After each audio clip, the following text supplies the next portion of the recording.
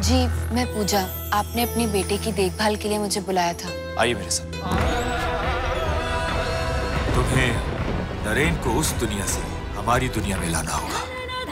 एक की तलाश अनजानी एक अपने कल से बेगानी। पिया अलबेला दोपहर तीन बजे जिया मोल पर।